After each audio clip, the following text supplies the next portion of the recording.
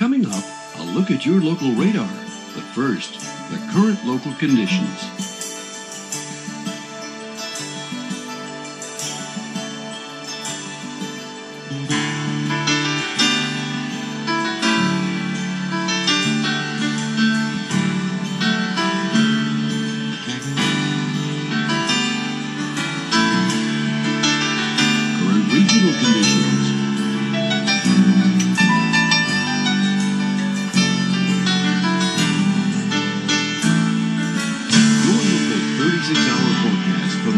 From the